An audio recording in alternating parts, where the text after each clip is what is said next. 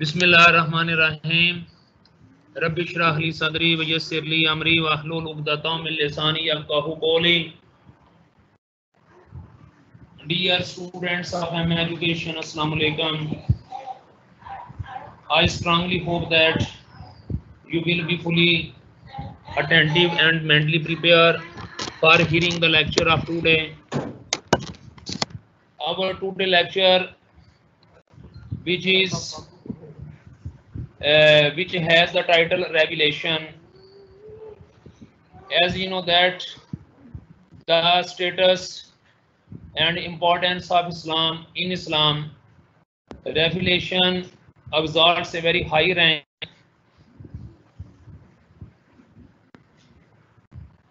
आज ये हमारा जो लेक्चर नंबर 25 और 26 है इसमें हम रेवलेशन के बारे में पढ़ेंगे कि ये जो वही है बेसिकली ये क्या है इसके असरात क्या हैं, इसके मोड्स क्या हैं, इसके पर्पस क्या हैं, और इसका मुकाम क्या है, मरतबा क्या है? तो स्टार्ट करते हैं हम। ये बात मैं आपको ये बताना भी चाह रहा हूँ कि दुनिया में जो एक लाख चौबीस हज़ार पैगंबर आए, उनके पास बाद जो एक अथेंटिसिटी थी एक उनके पास जो सबसे बड़ा, यानी कि आसरा था, दूसरे लफ्ज़ों में कह सकते हैं, या एक लिंक था, वो रेविलेशन की शक्ल में लिंक था। रेविलेशन की शक्ल में जो लिंक था, वो एक इंसान का अपने रब के साथ था, और उस लिंक की वजह से, यानी कि अल्लाह का जो पैगाम है, वो अपने नबियों तक आता रहा। अभी मैं इसको डिफाइन करना चाहूँगा। Among the world's religions Islam has one of the most fully developed understandings of the notion of revelation.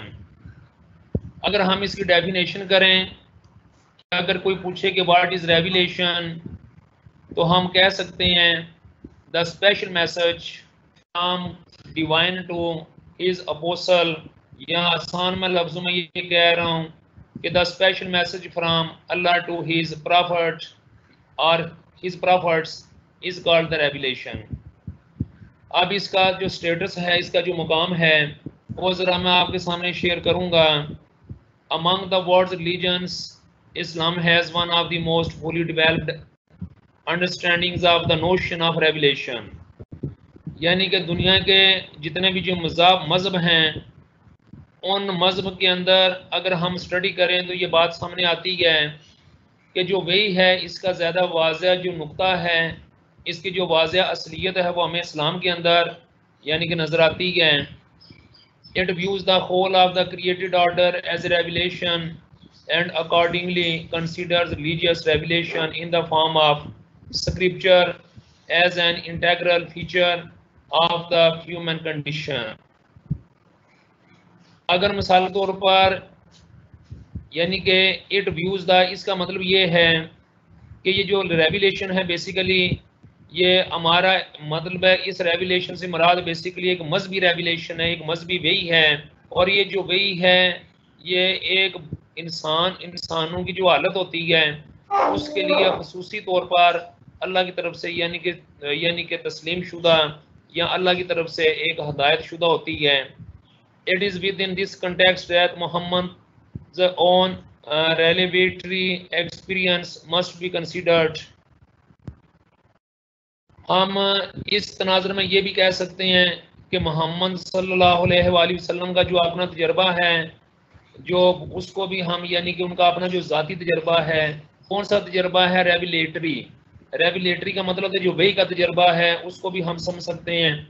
These are well tested in the hadith literature इनका हदीस के अंदर भी, हदीस के जो कुतब हैं, हदीस का जो अदब है, उसके अंदर भी इसकी तस्दीक मौजूद है। Islam recognize three distinct grades of revelation इस्लाम जो है, ये बेसिकली जो इस, जो वही है, इसके जो तीन बड़े जो समझ लें कि ग्रेड्स हैं, उनको बयान करता है। मरातब जो इसके बयान करता है, ज़रिए बयान करता है। Muhammad was the highest of these which as the hadith make clear is a passing into deep sleep state in full consciousness तो मकसद ये है, यानी कि ये बात आपसे बयान करने का ये जो वही है, ये जब अल्लाह के नबी के ऊपर नाजल होती तो ये highest that which as a hadith यानी कि ये हदीस से, हदीसों के ज़रिए बात वाज होती है कि अल्लाह के नबी बाज़ गहरी नींद सोए होते, यानी कि सो जाते, या बाज़ात यानी कि मुकम्मल होश में होते और बाज़ात हल्की नींद में होते। उस वक्त भी ये वाक़ रूनमा होता है the explicit nature of this traditional accounts of prophecy in action as well as Islam's universalism sheds light upon revelation in all religions.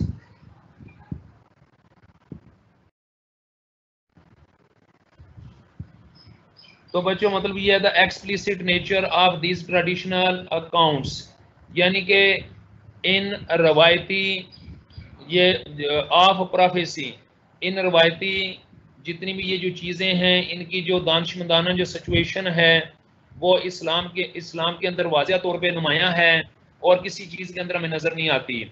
Sheds light upon revelation in our reasons यानी कि बाकी जो मजाब हैं, उनके अंदर भी तो ये चीज़ मौजूद है, लेकिन इस्लाम के अंदर जो वही का तस्वर है, ये ज़्यादा वाजिया और ये ज़्यादा क्लियर है।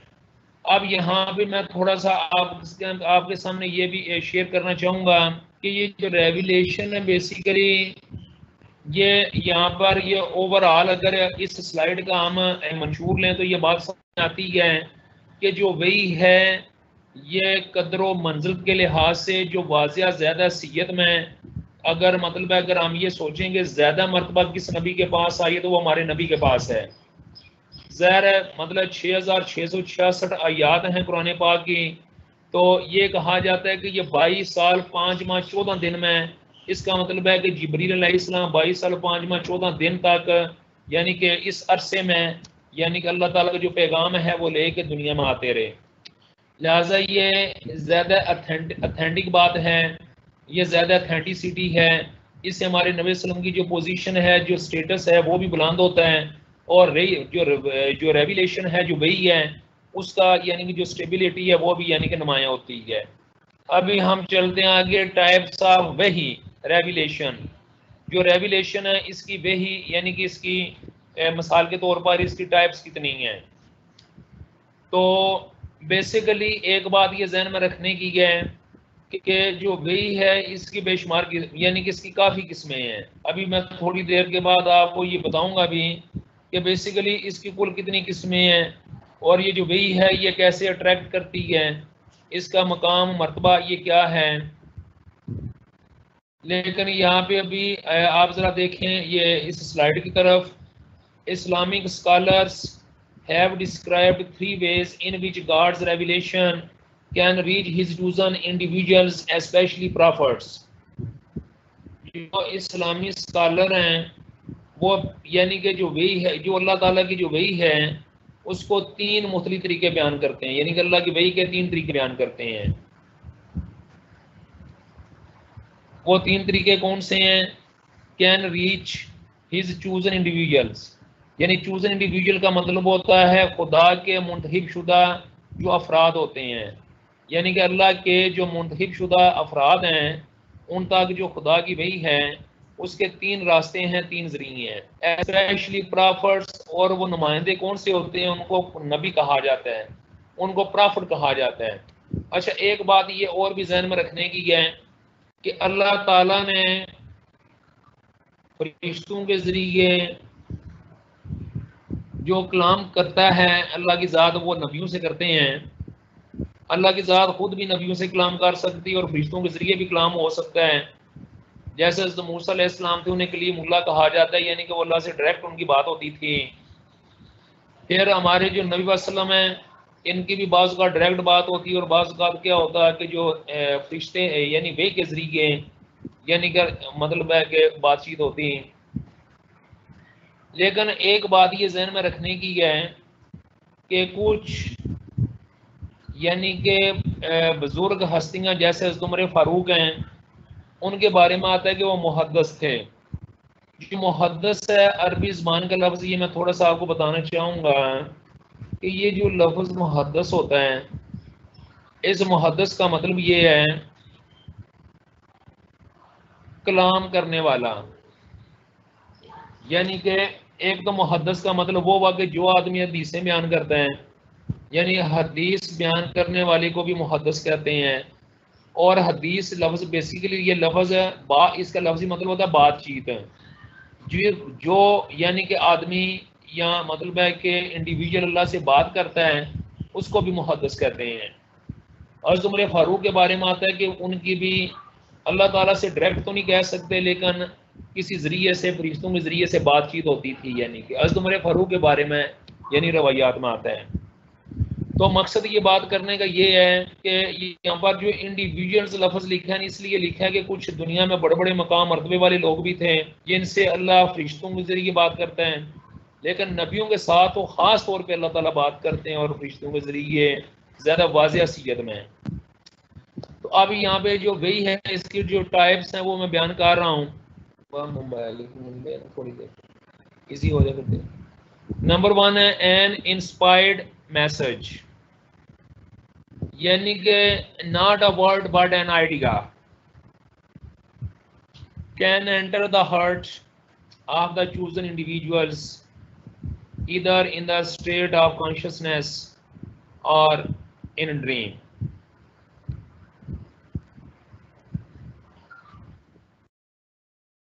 or in dream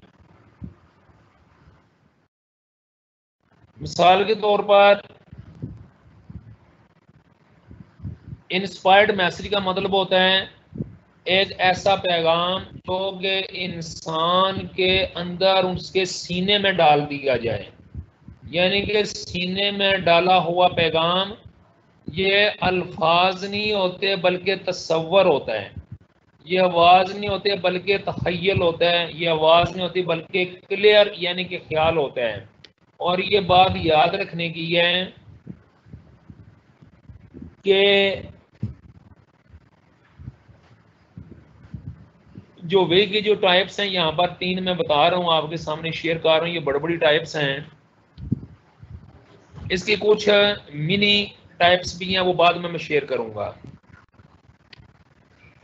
पहली टाइप क्या होगी? एन इंस्पायर्ड मैसेज एक ऐसा पैगाम जो कि इंसान के दिलो दिमाग के अंदर छा जाता है। नॉट ए वर्ड ये अल्फाज की शक्ल में नहीं होता बट एन आइडिया ये ख्याल की शक्ल में होता है। यानी किसी भी नबी को किसी चीज़ का ख्याल आ जाना।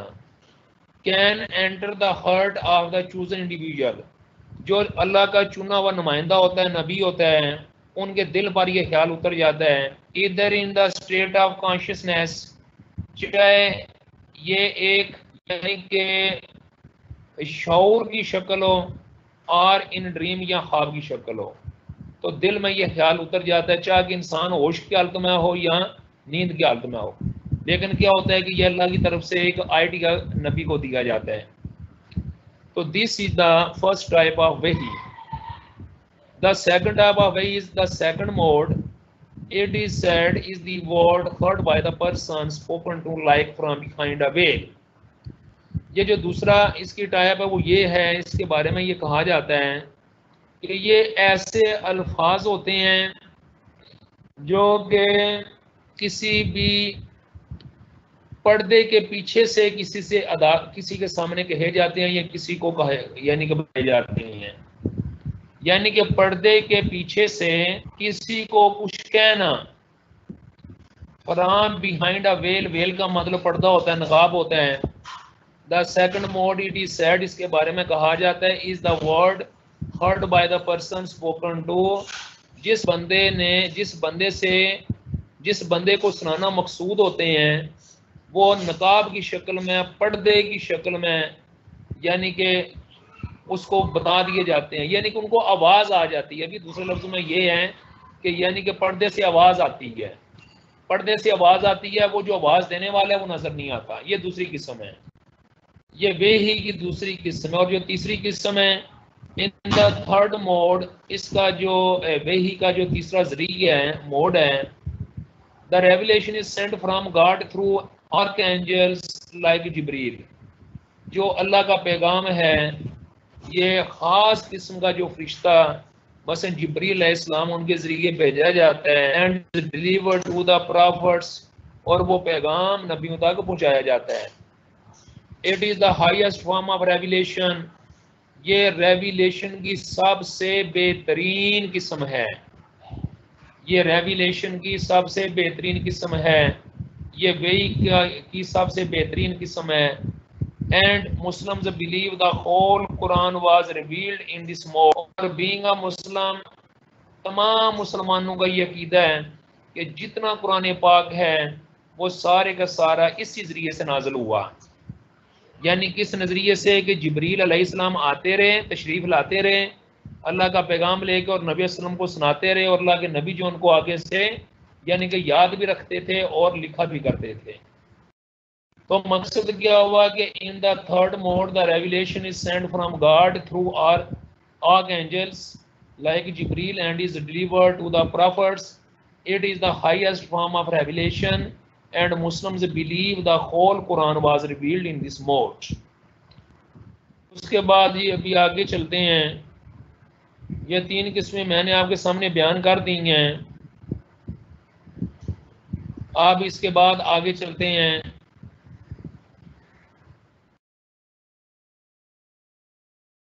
वो छोटी छोटी किस्में जो कि कुरान ने बयान की हैं, वही की शक्ल में देखें। यानी कि इसकी तीन बड़ी मैंने शक्लें आपको बता दी हैं, जो वही हैं। एक तखयल एक ख्याल आ जाता है, पर्दे के पीछे से आवाज़ आ जाती है। जबरील डायरेक्ट आके बात बता देते हैं। ये जो पहली किस्म है ना, ये जो पहली किस्म है ये मैं आप ये सुन के हैरान होंगे कि ये जो पहली किस्म है ना an inspired message not a word but an idea can enter the heart of the chosen individuals either in the state of conscious और इन ड्रीम ये बात जानवरों के ऊपर भी सादक आती ही है। और बच्चों this is proved by the holy Quran मसलन, अगर मैं होली कुरान से आपको इसका ज़िक्र यानी कि देना चाहूँ तो आप न, आप नोट भी कर सकते हैं अपने पास हैरान भी होंगे। This is very very amazing fact which I am going to share with you के नबियों के अलावा अल्लाह ने मतलब है कि कुछ चीज़ें हैं जानदार चीज़ें हैं बल्कि बेजान को भी अल्लाह ने वही की है वो भी अभी मैं आपके सामने बयान करता हूँ। मसलन सूर्य बच्चों नहल है। नहल का लफ्जी मतलब होता है शहद की मक्खी। सूर्य नहल, जिसका मतलब होता है, बच्चों, शहद की मक्खी। ये कुरान पाक की सूर्य नंबर 16 है। इसमें अल्लाह ताला ने शहद की मक्खी को वही की है। और वो क्या अल्लाह ने फरमाया? आयत नंबर 68 में, सूरह नखल आयत नंबर 68 में अल्लाह ताला फरमाते हैं ओहा रब्बो का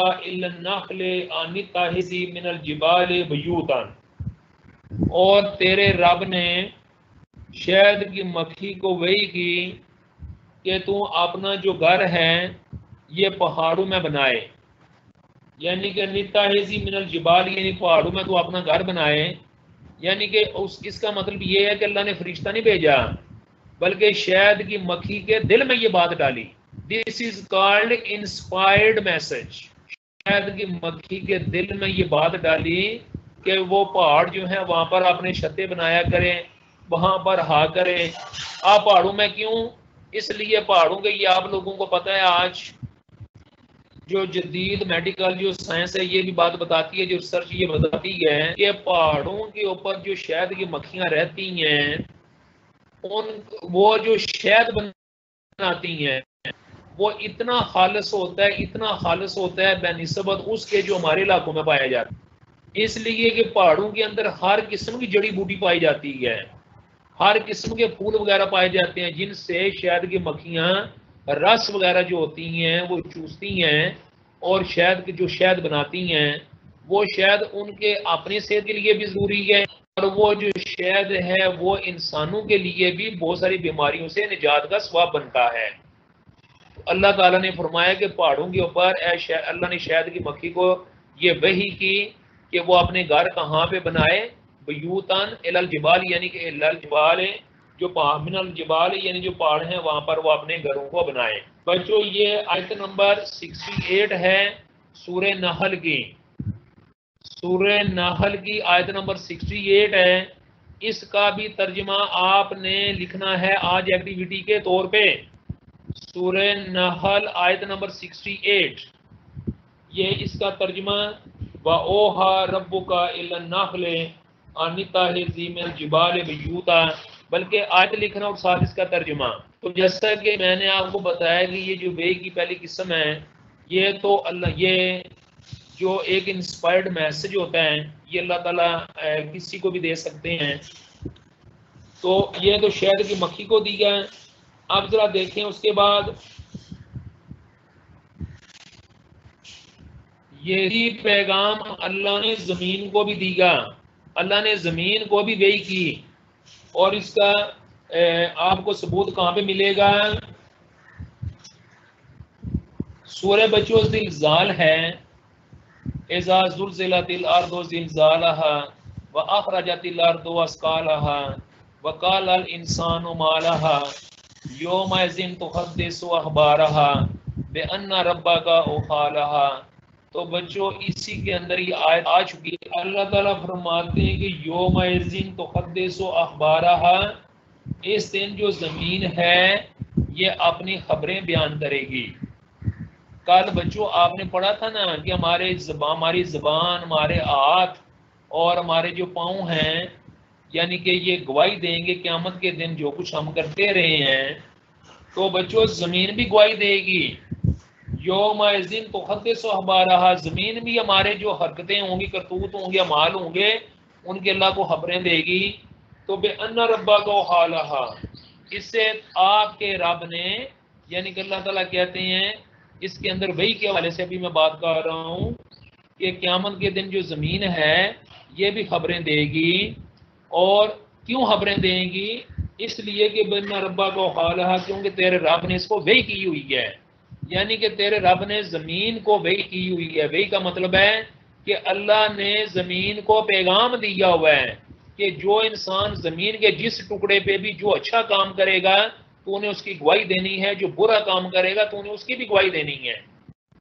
इसलिए तो कहा जाता है ना कि ए इंसान, तू गुनाह कर, ऐसी जगह पे कर, यहाँ पे तुझे खुदा ना देख रहा हो या खुदा मौजूद ना हो। भी ना तो ज़मीन में ऐसी चीज़ें का मिल सकती है, ना आसमान में किसी जगह भी नहीं मिल सकती। तो अगर ज़मीन जो है इसके जिस हिस्से पे भी गुनाह किया जाएगा, चाहे इंसान तनहा है, अकेला है तो ज़मीन जो है वहाँ पे नोट कर लेगी और क्यों नोट करेगी? बाय ऑर्डर ऑफ़ अल्लाह सुबहान वाली क्योंकि अल्लाह ने इसे वही की हुई है। अल्लाह ने इसे बताया हुआ है, अल्लाह ने इसे पैगाम दिया हुआ है। किसको दिया हुआ है? ज़मीन को पैगाम दिया हुआ है। क्या पैगाम दिया हुआ है? कि जो इंसान तेरे सीने के ऊपर बुराई करेगा तो उन्हें क्यामत के दिन वो उसकी गवाही देनी है और जो जिस जगह पे अच्छाई करेगा उसकी भी गुआई देनी है।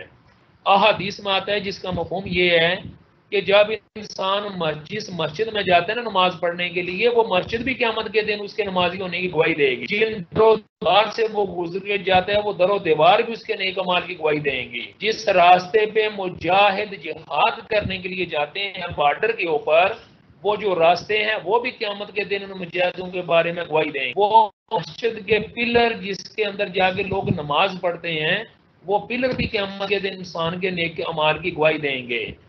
जिस कमरे के अंदर छुप के एक इंसान अल्लाह की इबादत करता है कि किसी को ना पता चले, उस वक्त भी वो कमरा उसे देख रहा होता है और वो भी अल्लाह के यहाँ क्यामत के दिन गवाही देगा कि अल्लाह, इसने तो तेरी इबादत में कमाल कर दी है, स्वाय तेरे, इसने तो किसी को बताई नहीं है कि ये तेरी इबादत कार है, इसकी तो इबादत बड़े कमाल की इबादत है। इसलिए अल्लाह ताला कहते हैं कि चोरी भी अल्लाह की, छुपे भी अल्लाह की इबादत करो और जहरी तौर पर भी करो। तो मकसद ये कहने का ये है कि मिसाल के तौर पर ज़मीन का, ज़मीन को भी अल्लाह ने यह वही की थी। तो मैं ये बताना चाह रहा हूँ कि एक तो शहद की मक्खी को अल्लाह ने वही की और दूसरी ज़मीन को अल्लाह ने वही की। जो ज़मीन को वही की है, ये सूरज दिल है और ये पारा नंबर तीस है, थर्टी, पारा नंबर थर्टी सूरजाल इसकी ये आयात, आयत नंबर चार और पाँच, इसका भी तर्जमा आपने लिखना है। यानी कि इसका भी तर्जमा आपने लिखना है। एक तो तर्जमा मैंने बताया सूर्य नखल का जो आयत नंबर 68 है और दूसरा सूर्य जिलजाल, इसका आयत नंबर चार और पाँच का तर्जमा, ताकि आपको पता चले कि ये जो वही की पहली किस्म है, ये अल्लाह ने कीड़े मकोड़ों को भी की गए ज़मीन को भी की गए अभी आगे जाके मैं आपके सामने बयान करूँगा कि ये अल्लाह ताला ने, ये वही अल्लाह ने आसमान को भी की है। यानी कि वही अल्लाह ने आसमान को भी किया और इसका ज़िक्र है सूरत सूर्य यानी कि यानी कि सूर्य फुसला, यानी फासिलात। फासलात ये सूरत नंबर 41 है। सूरत नंबर 41 आप नोट कर रहे फासिलात, जिसमें अल्लाह ताला फरमाते हैं, फाका जुन्ना साबा समावातिन फ़ी यो मैंने व ओहा फ़िकुल समाइन अमराहा। इसकी आयत नंबर बारह है। तो ये बच्चों, इसका भी आपने तर्जमा लिख के मुझे सेंड करना आपने।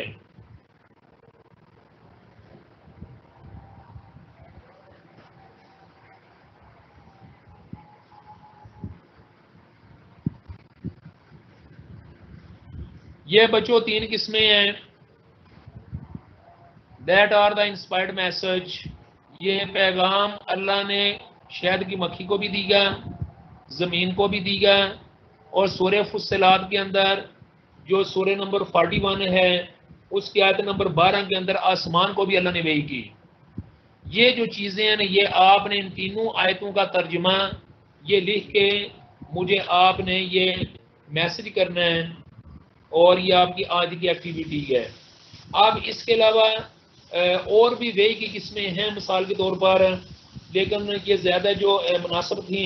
जैसे अल्लाह ने नबी वसल्लम के ऊपर भी वही की, मूसा और हारून के ऊपर वही की नू अलैहिस्सलाम के ऊपर वही की, यूसुफ अलैहिस्सलाम मतलब मेरा कहने का ये है, बल्कि एक और वही मैं आपसे शेयर करना चाहूँगा कि अल्लाह ने मलाइका को भी वही की। मलाइका कौन होते हैं बच्चों? मलाइका फरिश्तों को कहते हैं। इज़ यू ही रब्बो का इलल मलाइका के अनिमाकुम फसब्बतुल्लाजीन आम किसकी वही है? ये मलाइका की वही है। फिर इसी तरह एक और वही बड़ी मशहूर है, जो मूसा इस्लाम की जो वालदा है, उनको अल्लाह ने की थी, वालाकद मनन्ना अली का मर्रा का उखरा आगे है, इज़ ओहैना इला उम्मी का मायूहा। यानी इस ओहैना इला उम्मे का मायूहा, व ओहैना इला उम्मे मूसा अन अर्ज़ मकसद मेरा कहने का ये है कि ये जो बच्चों वही है ना, वही जो है, ये मिसाल के तौर पर इसकी जो तीन किस्में हैं ना, उसमें पहली सबसे हल्की किस्म है, लेकिन ये भी चूँकि अल्लाह का पैगाम है, और ये पैगाम किसी चीज़ के अंदर आ जाना, उसके हर्ट में आ जाना, दिल में आ जाना, सोच में आ जाना तो उसके अंदर शहद की मक्खी भी आ जाती है, ज़मीन भी आ जाती है, आसमान भी आ जाता है और इसके अलावा नेक लोग भी आ जाते हैं इसमें। यानी चूजन इंडिविजुअल्स नबी भी तो इसके अंदर शामिल है ना कभी कभी नबियों के इसलिए कहते हैं कि जो नबी होता है ना, ये अपनी मर्ज़ी से नहीं बोलता। जितने भी दुनिया में नबी आए हैं, वो अपनी मर्ज़ी से नहीं बोलते रहे।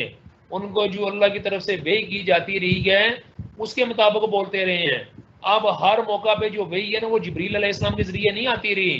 कई मौका पर, यानी कि जो वही है, वो अचानक किसी नबी के दिल में ख्याल आ जाता है। उनको दिल के अंदर उनके बाद डाल दी जाती है। मिसाल के तौर पर जैसे एक छोटा सा मैं आपको ये वाक्य यानी कि सुनाना चाहूँगा, ताकि आपको ये बात ज़्यादा क्लियर हो जाए कि ये दिल में कैसे आ जाता है। आप सबको पता है कि मूसा इस्लाम है। तो मूसा इस्लाम के ज़माने का जो फ्रोन था वो क्या करता था कि उसके नजूमियों ने, जादूगरों ने उसे बताया हुआ था कि तेरी सुल्तनत में एक ऐसा लड़का, फलां यानी कि सालों में पैदा होगा जो तेरी सुल्तन को तबाह करेगा। फिर उन्होंने यहाँ तक बता दिया कि जो इतने अरसे में फलां दिन को पैदा होगा, वो भी यानी कि तेरी सुल्तन को तबाह, यानी कि उन्होंने मुकम्मल तौर पर बता दिया कि तेरी सुल्तन को तबाह करने वाला एक बच्चा पैदा होगा। कब होगा, कौन से दिन को होगा, कौन से महीने, साल को होगा, वो उन्होंने सब बता दिया। तो फिर क्या किया फरौन ने? फरौन जो भी सुल्तान के फलां गार में बच्चा हुआ है वो बच्चों को मरवा दिया करता था। उनको कत्ल करा देता था। और जो बच्चियाँ होती थी, उन्हें ज़िंदा रहने देता था। क्योंकि उसे खतरा था कि मेरी सुल्तान तो वैसे तो तबाह नहीं होगी। तो ये जो मेरे जादूगर कह रहे हैं कि एक बच्चा पैदा होगा जो सुल्तान तबाह करेगा तो वो मिसाल के तौर पर इस नीयत से कि ताकि जो बच्चा पैदा हो, मैं उसे मार दूँ और उसके बाद मैं हमेशा के लिए यानी कि बादशाह बना रहा। हूँ हुआ ये कि हज़रत मूसम जब पैदा हुए, उनकी माँ को बड़ी परेशानी हुई। उनकी माँ की वही के उनकी माँ के हवाले से मैंने जो वही है वो मैं बात किया कि उनकी माँ के दिल में रब ने डाला। अब उनकी माँ के दिल में रब ने कैसे डाला? ये भी जरा ये मतलब है कि ये वही की पहली किस्त में मैं शेयर कर रहा हूँ। उनके दिल में मतलब अल्लाह ने ये डाला कि उनके घर पर किसी ने यानी कि शिकायत कर दी कि इनके घर बेटा है क्योंकि रोने की आवाज़ आ रही थी हज़रत की। किसी ने शिकायत कर दी तो जब फेरोन के, जब फेरोन के मिसाल के तौर पे यानी कि जो कारिंदे हैं, वो आते हैं उनके घर में तो वो क्या करती हैं कि अपने बच्चे को फौरी तौर पर उठा के एक तनूर होता है, तनूर के अंदर रख देती हैं और ऊपर कोई गड़ा वगैरह इस तरह की कोई चीज़ रख देती हैं। तो वो कहते हैं जी कि हमने सुना कि आपके घर होने की आवाज़ आई है बच्चे को। उन्होंने बोला, नहीं जी, नहीं। अब उनके दिल में ये किसने बात डाली जबकि वो दस्तक दे रहे थे कि वो अपने बच्चे को वहाँ पे जाके छुपा दें? तो ये भी that was the part of revelation ये अल्लाह ने उनके दिल में डाला कि तुम फौरी तौर पर अपने बच्चे को वहाँ पर तनूर के अंदर जाके छुपा दो। वो जो पुलिस वाले थे, वो घर में आया आगे उन्होंने चेक चेक किया, आगे पीछे उसके बाद वो घर वापस चले गए। फिर उसके बाद उनकी माँ के दिल में अल्लाह ने ये डाला कि आप अपने बच्चे को पानी में बहा दें। एक लकड़ी का संदूक बनाया क्योंकि लकड़ी पानी में तैरती है। तो अल्लाह ने उनके दिल में ये बात डाली कि आप अपने बच्चे को इस लकड़ी के संदूक में रख दें हम इसकी हिफाजत करेंगे। अब मूसलाम की माँ ने उस अपने बच्चे को एक हल्का सा लकड़ी का संदूक सा बनाया जिसमें उस, उसका ऊपर वाला मुँह थोड़ा खुला था बच्चा सांस भी लेता रहे। और दरिया नील के हवाले अल्लाह की रजा के लिए दरिया नील यानी दरिया के नील के हवाले कर दीगा। आप जरा दे, देखें कि कोई माँ ऐसा कर सकती या नहीं ना कर सकती। लेकिन चूँकि अल्लाह ने उनके दिल में वाजिया तौर पर यह डाला हुआ था ये दो बातें होगी इंस्पायर्ड मैसेज की जो मैं पहली वे के हवाले से बात कर रहा हूँ। अब तीसरा ये है कि जब मूसा इस्लाम जो हैं वो दरिया के मतलब दरिया के अंदर जा रहे हैं आगे माई आसिया और फेरोन जो हैं वो कहीं दरिया के किनारे सैर के लिए गए हुए कि उनकी नज़र पड़ती है कि एक लकड़ी का चोखा आ रहा है। उसमें देखा कि पता नहीं ये क्या चीज़ है, जब करीब आती है, देखते हैं। तो बीच में उसके एक बच्चा होता है और वो बच्चा अपना जो गूंठा होता है उसे चूस रहा होता है। तो फिर क्या होता है कि मिसाल के तौर पर वो बड़े खुश होते हैं, फिर उनकी अपनी औलाद नहीं थी। उन्हें बोला, चले, ये बच्चा तो हमें पता नहीं, मिल गया कहीं से। हम ऐसा करते से अपना बेटा बना के पा लेते हैं। जब उन्होंने अपना बेटा यानी कि उससे बना के यानी पालना शुरू किया अपने महल के अंदर तो इसमें बेशुमार और भी इसकी मिसालें आएँगी, यानी कि इंस्पायर्ड मैसेज की पहली वही की। लेकिन मैं एक और आपको आगे से मिसाल दूँगा, हज़रत मूसा इस्लाम की। जब कुछ अरसा हुआ ना, हज़रत मूसा इस्लाम वहाँ पे रह रहे थे तो एक दिन ये हुआ कि मूसा इस्लाम को जब फिरौन ने उठाया ना तो फिरौन की ना दाढ़ी थी। तो मूसा इस्लाम ने बच्चे थे तो फिरौन की दाढ़ी को पकड़ के बड़े ज़ोर से खींचा। इतना ज़ोर से खींचा कि फिरौन को बड़ी तकलीफ़ हुई। तो फिरौन ने बोला कि मुझे लगता है कि ये जो बच्चे हैं, ये जो बच्चे हैं, ये मेरा दुश्मन होगा। मुझे लगता है क्योंकि जिस तरह इसने मेरी दाढ़ी नोची है ना, लगता है कि ये बड़ा हो गया मुझे भी ना कहीं नोच दे, मुझे भी ना मार दे। लिहाजा उसने इरादा किया कि मैं इसको कत्ल कर दूँ। क्योंकि वो पहले ही लोगों के बच्चे मरवा रहा था। तो हुआ क्या कि उस वक्त माई आसिया कहने लगी कि ये छोटा बच्चा है नोमलूद है, इसको क्या पता है? इसको क्या पता है मिसाल के तौर पर, यानी कि आप, यानी कि मतलब है कि ये फरोन है या मैंने दाढ़ी खींचनी है। ये वैसे दाढ़ी के बाल नरम होते हैं, इसके हाथ में आगे, इसलिए इसने खींच दिए उसने बोला, नहीं नहीं। फिर उसने बोला अच्छा तुम इसकी आजमाइश कर लो। तो मैं एक तरफ़ फूल रखो और एक तरफ़ आग रखो। यानी कि फेरोन ने बोला ना कि ये वही स्पेशल बच्चे हैं। तो उन्होंने बोला, ये स्पेशल बच्चा नहीं है, ये आम बच्चा है। आप करें एक तरफ़ आग रखें, एक तरफ़ फूल रखें। फिर उन्होंने बोला हाँ ठीक है, मैं ये तुम्हारी तजवीज़ मारने के लिए तैयार हूँ। अब ये जो ख्याल है ना कि माई आसिया ने ये नहीं कहा कि एक तरफ़ आग रखो, एक तरफ़ फूल रखो, उनके दिल में भी ये अल्लाह ने डाला, ये भी की पहली किस्म है। फिर क्या हुआ कि एक तरफ़ आग रखीगी, उसके अंगारे एक तरफ़ गुलाब के फूल रखे गए अज मूसम को लाया गया फिर ने ये शर्त रखी हुई थी कि अगर इसने आग के ऊपर हाथ लगाया तो मैं इसको छोड़ दूँगा, अगर फूल को इसने उठा के मुँह में डाला तो मैं इसे कत्ल कर दूँगा। तो हज़रत मूसम आए, बच्चे थे, आए तो हज़रत मूसा अलैहिस्सलाम ने क्या किया कि पहले उनका दिल चाहा क्योंकि बच्चे तो फूल की तरफ़ हाथ लगाते हैं, जिधर आग होती है उधर तो वैसे तपश होती है। तो वो पहले आग की तरफ़ हाथ लगाने लगे तो फिर क्या हुआ कि जो आग थी वो गर्म लगी ना, फिर फूल की तरफ़ उन्होंने हाथ जैसे किया तो उनके दिल में एकदम अल्लाह ने यह डाल दिया, हालाँकि बच्चे थे, छोटे बच्चे थे दिल में ये डाल दिया कि आप ये आग की तरफ़ हाथ उठाएँ। तो उन्होंने आग की तरफ़ फिर हाथ उठाया और एक अंगारा उठा के मुँह में भी डाल लिया।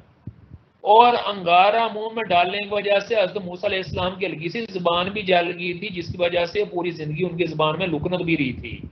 तो उसके बाद फिर फरोन ने बोला हाँ तुम ठीक कहती हो, ये बच्चा है, वाकई से कोई पता नहीं है, ये स्पेशल बच्चा वो नहीं है जो मैं सोच रहा था। तो बताने का मकसद ये है कि ये भी बे की पहली किस्म थी यानी कि जो कि अल्लाह ताला किसी भी इंसान के दिल में है, और ये वो इंसान, वो लोग होते हैं जो कि अल्लाह के बहुत ही खास किस्म के लोग होते हैं। ये वो लोग होते हैं जो अल्लाह ताला को बहुत महबूब होते हैं। तो ये दूसरी किस्म आप पढ़ लियो, तीसरी भी। अभी बच्चों, मैं ये चाह रहा हूँ कि लेक्चर नंबर ट्वेंटी सिक्स है, इसको भी थोड़ा सा मैं ब्रीफ कर दूँ। ये purpose and mode of revelation तो इससे पहले बात थोड़ी बहुत हो चुकी है, मजीद यानी कि मैं करना चाहूँगा। कि कुछ फलासफर हैं ओलमाई कराम हैं, जिन्होंने वे के हवाले से इसके जो पर्पज हैं, वो भी बयान किए हैं और अपना नुकता नज़र बयान किया है। According to Islamic scholar Muhammad Shafi Usmani यानी कि एक बहुत बड़े इस्लामी स्कॉलर हैं मोहम्मद शफी उस्मानी वो बयान करते हैं God has created three media through which human receive knowledge यानी कि अल्लाह तबारक वाली ने तीन किस्म के ज़ाया पैदा किए हैं, जिनके ज़रिए इंसान जो है इल्म हासिल करते हैं। एक बच्चों कौन से मैन सेंसिस इंसान के आवास यानी कि आवास के ज़रिए इंसान इल्म हासिल करते हैं। वो आवास कौन से हैं? वो हवास फाइव सेंसिस हैं। वो आवास बच्चों कौन से हैं? दे आर फाइव सेंसिस यानी कि बच्चों, ये एक मुसदा हकीकत है कि इंसान अपने फाइव सेंसेस से इल्म हासिल करता है। जानता है फाइव सेंस का आपको पता नहीं कौन सा होते हैं। उसमें सींग है, उसमें टच है, उसमें यानी कि सींग आ जाता है टच आ जाता है खीर आ जाता है स्पीक आ जाते हैं। और मिसाल के तौर पर पांचवा कौन सा है जी कि जिसमें इंसान क्या करता है जी कि सुनना आता है, इसमें देखना, उसमें देखना आता है सुनना आता है, बोलना आता है टच करना आता है।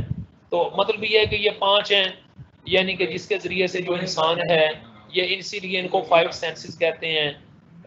मतलब यह कि हाँ ये सूंघना, जो पांचवा ये स्नीफिंग यानी कि सूंघना, ये पाँच सेंसेस है, जिनके ज़रिए से इंसान जो है ये इल्म हासिल करता है।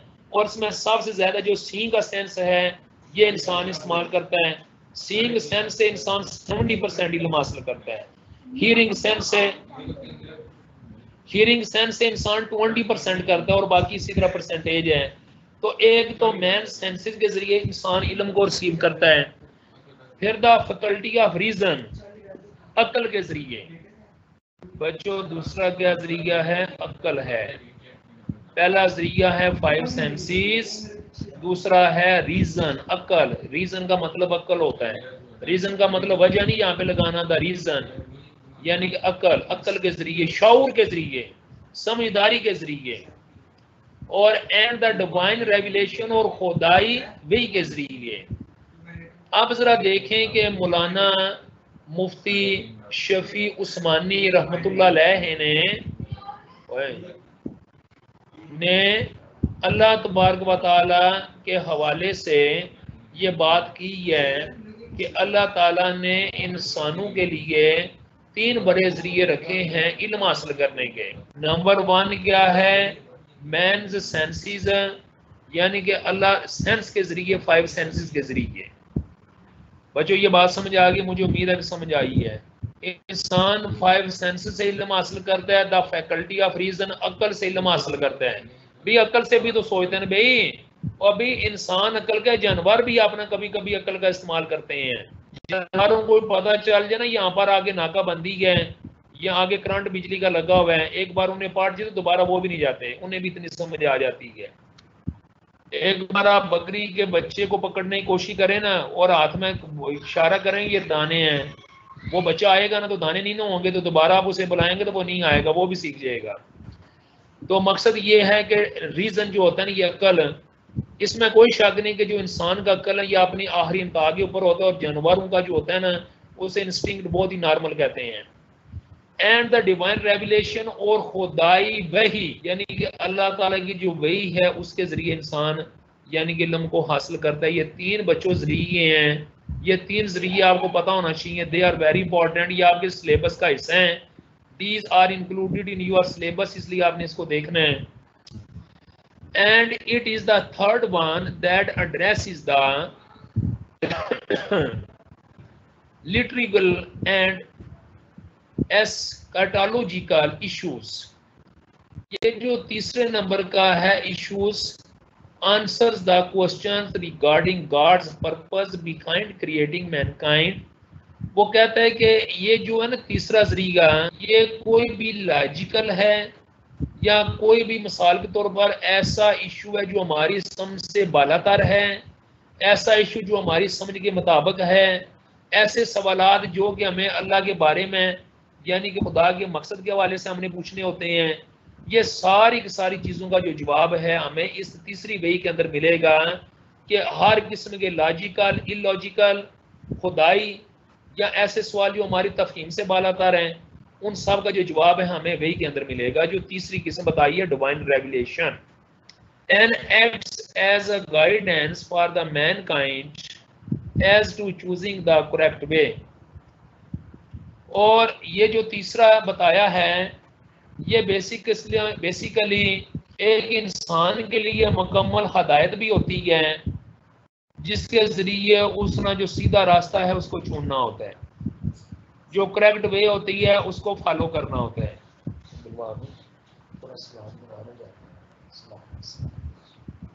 इसको चुनना होता है। In Islamic belief the sequence of divine revelation came to an end with Muhammad सभी सभी अपान ही। बच्चों, ये बात बड़ी एक खूबसूरत है। और मैं ये बात खसूसी तौर पर आपको ये समझाना चाहता हूँ कि ये कभी नहीं आपने भूलना। वो वही वो वही जो कि अल्लाह का पैगाम लेके आया करती थी नब, नबियों के ऊपर जो स्पेशल लोग थे इंडिविजुअल जो लोग थे नबी थे पैगंबर थे रसूल थे उसका मिसाल के तौर पर ये है ये अकीदा बयान कर रहे हैं कि जो इंसानों की हदायत के लिए आया करती थी वो ख़त्म हो चुकी है। जबरील अलैहिस्सलाम जो हैं हज़रत आदम अलैहिस्सलाम से शुरू हुए अल्लाह का ये ड्यूटी सार अंजाम देने के लिए एक लाख चौबीस हज़ार जो पैगंबर हैं, उन्हें अल्लाह का पैगाम आगे बताते रहे, सुनाते रहे और अभी उनकी, यानी कि ड्यूटी ये ख़त्म हो चुकी है। Now Jibril Islam is free to his task in this regard free हैं। यही बात मौलाना मोहम्मद शफी उस्मानी ने इरशाद फरमाई है कि इस्लामी अकीदे के मुताबिक अल्लाह ताला के बे का जो सिलसिला था सीक्वेंस ऑफ़ डिवाइन रेवलेशन अल्लाह की या खुदाई जो वही का सिलसिला था केम टू एन एंड वो ख़त्म हो चुका है with Muhammad peace be upon नबी पाक वसल्लम के साथ साथ। ये बात आपके जहन में होनी चाहिए कि इन अल्लाह के नबी के साथ ये सिलसिला क्या है, ये ख़त्म हो चुका है। आप जरा आगे देखें आप सोचना ये है किसी को ये जो तीसरी किस्म है, यानी कि ये जो डिवाइन रेवलेशन ये जो तीसरी किस्म है, ये ख़त्म हो चुकी है मुकम्मल तौर पे। पहली किस्म जो है, वो तो किसी को कोई भी आइडिया आ जाता है, किसी को तखयल आ जाता है, ख्याल आ जाते हैं। वो तो चले, एक अलग बात है, उस पर हम बहस नहीं कर सकते, नहीं करना चाहते हैं। लेकिन जो तीसरी किस्म है, जो कि स्पेशल अल्लाह अपने नबी बनाते हैं और उन नबियों के ऊपर आके अल्लाह फरिश्तों को भेजते हैं, अपना पैगाम लेके ये ख़त्म हो चुकी है। अब जरा आगे जाएँ। As regards to revelation received by Muhammad Muslim sources mention various modes in which they believe revelation came to him Muslim scholar Muhammad Shafi Usmani है summarized five modes of descent जो मोहम्मद जो शफी उस्मानी है, जो मोहम्मद यानी के क्या कह रहा हूँ मतलब ये है कि ये जो इन्होंने बयान किया है मोहम्मद शफी उस्मानी साहब ने इन्होंने पाँच मोड बयान किए हैं। हम अभी ये पाँच मोड पढ़ेंगे ये पाँच मोड कौन से हैं? The common mode was that Muhammad peace be upon him, would hear sound like the ringing of a bell. यानी कि वही आने के तरीके यानी वही कैसे आती थी? जब आती थी तो क्या होता था? जब वही आती थी तो उस वक्त क्या होता था? मिसाल के तौर पर देखें, अल्लाह ताला का पैगाम है और एक बहुत बड़ा फरिश्ता जो है वो अल्लाह का बहुत बड़ा पैगाम लेके दुनिया में आ रहा है। तो ज़ाहिर उसके आने से पहले कुछ ऐसे हरकतें वगैरह होती थी, कोई ऐसा काम होता था कि अल्लाह के नबी अलैहिस्सलाम अल्लाह के जो नबी थे और हमारे नबी वसल्लम, उनको पता चल जाया करता था कि अल्लाह का पैगाम जो है वो आ रहा है। तो ये किस शक्ल में होती थी? The ringing of a bell. एक घंटी की आवाज़। यानी कि मोहम्मद वुड हियर, अल्लाह के नबी को एक घंटी की आवाज़ आती थी। After which he found the message committed to his memory उसके बाद क्या होता था कि अल्लाह का जो पैगाम है, आपके दिमाग का हिस्सा, आपकी यादाश्त के हिस्सा बन जाता था। यानी कि ringing ringing of a bell यानी कि एक घंटी की सी आवाज़ आती थी। और अल्लाह के जो नबी हैं, उन तक वो जो बात है अल्लाह की, वो पहुँच जाती थी उनके दिमाग, उनके यादाश्त का हिस्सा बन जाती थी। ये पहली किस्म थी। Sometimes the arch angel would come in human shape बाज औकात जो फरिश्ता है, ये इंसानी शक्ल में आया करता था। यानी कि वही लेकर इंसानी शक्ल में आया करता था जो फरिश्ता है। और आपको पता है कि ज़्यादातर जबरील किस साबी की शक्ल में आया करते थे? एक साबी थे, उनका नाम था देहाउल कलबी। कलबी। ये जो दहीउल कलबी थे, इनकी शक्ल में हज़रत जबरील इस्लाम अल्लाह का पैगाम लेके आया करते थे। तो पहली किस्म होगी घंटी, यानी बैल, यानी कि रिंगिंग ऑफ़ बैल एक घंटी की आवाज़ जैसी की शक्ल में फिर वही आती। और कभी एक फरिश्ता, यानी जबरील इस्लाम एक साबी हैं, यानी कि अल कलबी, जो अल कलबी के नाम से ये ज़्यादा मशहूर हैं, उनकी शक्ल में फरिश्ता आया करता था। इनका पूरा नाम था दहिया अल कलबी। दहिया अल कलबी की शक्ल में आया करता था। इन टू केसेस इन दोनों शक्लों में Jibril appeared in his real form. और बाज का जो फरिश्ते थे ना, वो बच्चों अपनी खास शक्ल के साथ भी आया करता था। बाज का जो फरिश्ता जबरील इस्लाम है, वो अपनी शक्ल के साथ भी हाजिर होते थे। Once on the night of Miraj, और मिराज की रात में Muhammad is believed to have had a direct conversation with God.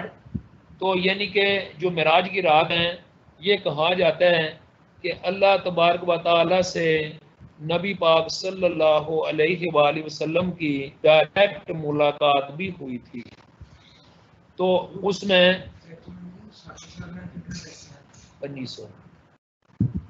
तो यानी कि आँखों पेपर भी पिछले पंजा साल तो अल्लाह तबारक वाली पाँच सौ उन्नीस रुपये अल्लाह तबारक वाली ने यानी कि ये अक्सर मुसलमानों का कीदा है कि अल्लाह ताला अल्लाह ताला नबी वसल्लम से सिदरातुल मुंतहा पे हम कलाम हुए थे और अल्लाह ने डायरेक्ट अपने नबी से बात की थी। तो ये बच्चों, चौथी किस्म है जो कि उन्होंने बयान की है। इन द फिफ्थ मोड पांचवी जो किस्म थी, Jibril would let the revelation enter into Muhammad heart Jibril जो वही है, वो नबी वसल्लम के दिल में दाखिल कर दिया करते थे। यानी कि फ़र्स्ट जो किस्म आगे पढ़े इंस्पायर्ड मैसेज यानी कि तखैल उनके दिल में। तो बच्चों, ये जो पाँच मोड्स हैं, ये बात आपके जहन में होनी चाहिए, ये जो पाँचों के पाँचों मोड हैं, ये पाँचों जो मोड हैं, इनके ज़रिए मिसाल के तौर पर अल्लाह ताला जो है, ये अपना पैगाम दुनिया में अपने नबियों को बेचते रहे। और जो नबी हैं वो अल्लाह का पैगाम लोगों तक पहुंचाते रहे। और these are very important inspiration and revelation मैं एक बार फिर आपको ये रिपीट कर देता हूँ कि मौलाना शफी उस्मानी ने यह बात की है कि तीन बड़े मीडिया थे जिनके ज़रिए इंसान को इलम हासिल होता है। इंसान के सेंस होते हैं, इंसान की अक्ल होती है ये अभी जुमा की अजान हो रही है, ज़रा थोड़ा मैं वक्फा करूँगा अजान तक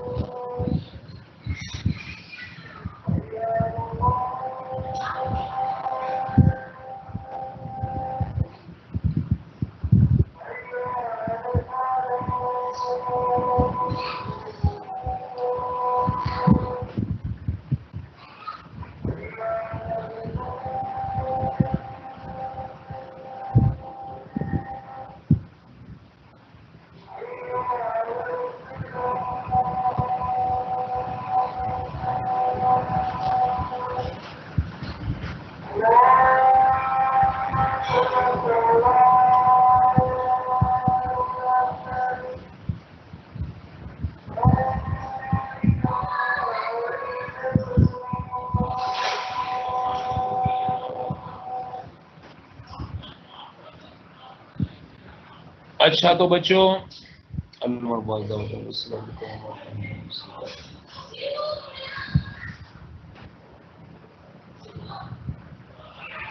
तो ये मैन सेंसिस के ज़रिए अकल के ज़रिए और अल्लाह की जो वही है सच्ची बात यह है कि बच्चों ये तीन ही बड़े ज़रिए हैं जिनसे हम इल्म हासिल कर सकते हैं। और उसके बाद ये जो मोहम्मद शबी उस्मानी हैं इन्होंने पाँच मोड बताए हैं कि जब अल्लाह के नबी पर वही आती तो उस वक्त क्या होता? तो सबसे पहले क्या होता था? रिंगिंग ऑफ़ बैल एक घंटी की सी आवाज़ पैदा होती और उसके बाद जो अल्लाह ताला का मैसेज है, पैगाम है, वो अल्लाह के नबी की यादाश्त के सब बन जाता। फिर उसके बाद क्या होता कि कभी कभी हज़रत जबरील इस्लाम इंसानी शक्ल में आते और अल्लाह का पैगाम देते और ज़्यादातर वो दहिया अलकलबी, एक साबी हैं, उनकी शक्ल में आया करते थे।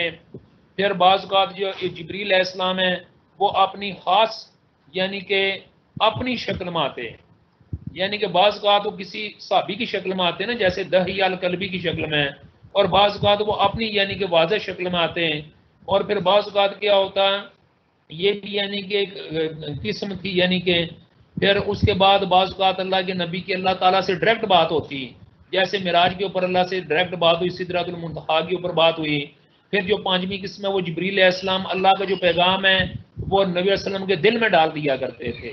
तो ये पाँच वो किस्में जो मोहम्मद शफी उस्मानी ने वही की बयान की हैं। अभी बच्चों, मैंने जो आपको टारगेट दी है ना, आज मैं आपको ये बता दूँ, ये बात मेरी जरा गौर से सुन लें कि सिर्फ़ पाँच सात बच्चे ऐसे हैं जो कि मुझे एक्टिविटी करके दे रहे हैं। और अभी आपके पेपर जो है ना, मेरे पास ही है, ये याद रखना मेरी बात।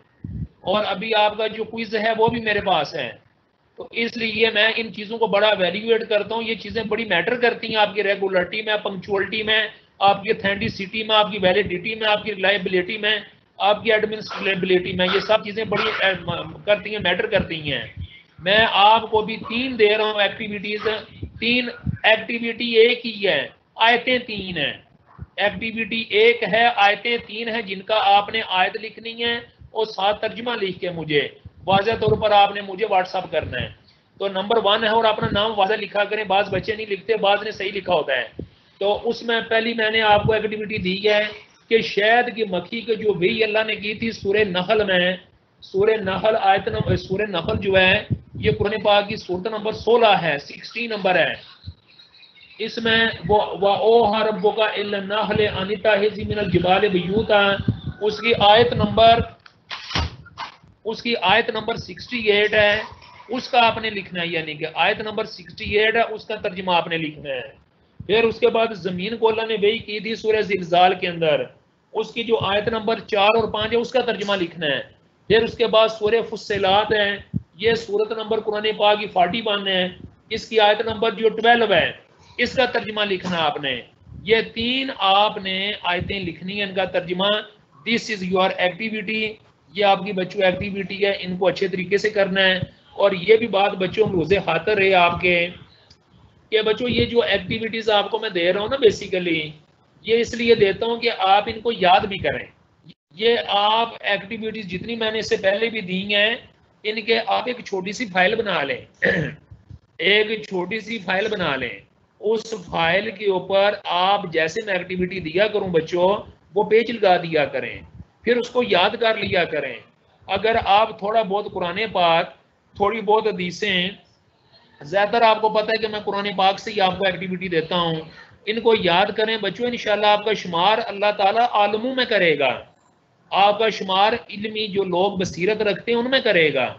आपका जो शुमार है, वो अल्लाह के नज़दीक जो पढ़े लिखे होते हैं। और बच्चों, पढ़े लिखे लोगों की दो किस्में हैं।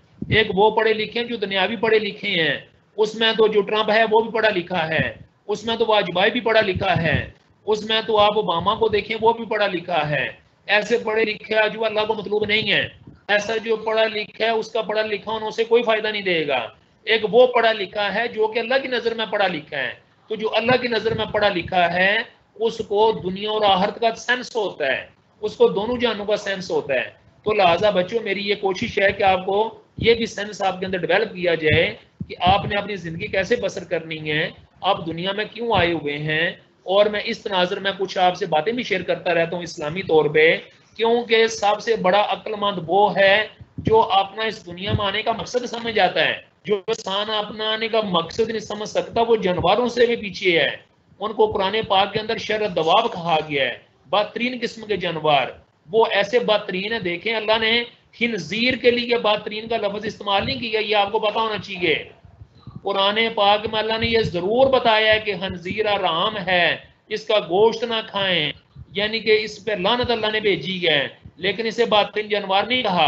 अल्लाह ने एक ऐसे इंसान को बेहतरीन जानवर कहा है, जो कि दीन को जानता भी है, उस पर अमल नहीं करता।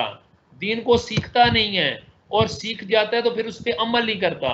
तो इसलिए बच्चों की बात जहन में रखने की है, ये चीज़ें आप सीखें और उसके बाद इनके ऊपर अमल भी करें। लिहाजा जो मैंने एक्टिविटी दी है that must be hundred percent done hundred percent इसको करना है और आपने मैसेज भी करना है, वरना मैं क्विज में आप लोगों को ज़ीरो ज़ीरो नंबर दूँगा, फिर ना कहना कि सर रौफ ने हमारे साथ ज़्यादा की है। ठीक है थैंक यू वेरी मच अल्लाह हाफिज।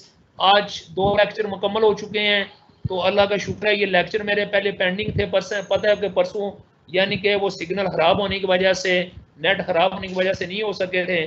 थैंक यू वेरी मच अल्लाह हाफिज़। एक्टिविटी करके मुझे शाम तक का मैसेज कर देना। अल्लाह हाफिज़। वसलाम बमालना इल्लाबलागुल मुबीन।